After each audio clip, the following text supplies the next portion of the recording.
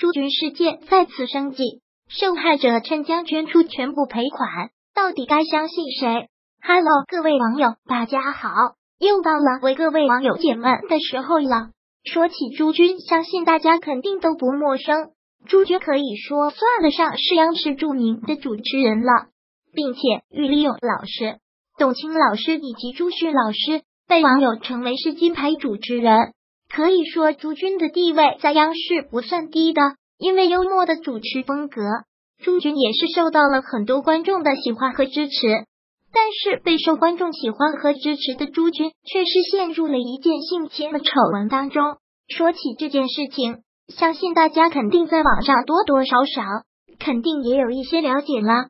其实，要说起这件事情，可以说很长时间了。根据网上传言的受害者说。在四年前的时候，朱军就有意性侵她，但是后来由于被人撞见，所以女孩子就趁机逃走了。而在事情发生之后，这位趁遭到性侵的女孩子也是选择了报案，但是后来呢，由于各种方面的原因就没有了。然后再后来，女孩把这件事情告诉了自己的老师和同学们，但是他们也去公安局立了案，但是在后来不知道为什么。这件事情却不了了之了，而就在前一段时间，这名受害者在好朋友的支持下，又把这件事情重新的公布出来了。而在这一次，这名女孩也是说，无论遇到多少的困难，自己一定要揭穿朱军的真面目，并且女孩也是表示称，相信法律一定会站在正义这边。在女孩说完这些话之后。众多网友也是有了自己不一样的看法。